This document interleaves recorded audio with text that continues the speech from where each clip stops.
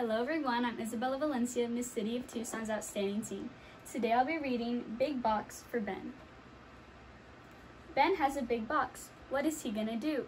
Here comes Wags. She wants to play too. Woof woof. Ben drives his race car. Vroom vroom vroom. Ben flies his airplane. Zoom zoom zoom. Ben paddles fast. Splish splash splash. Thump thump. Who's in front? Ben rides an elephant. Ben yells, Hi! He can almost touch the sky. Ben has a big box. What is he gonna do? Here comes Wags. There's room for two. Thank you for reading with me. Till next time.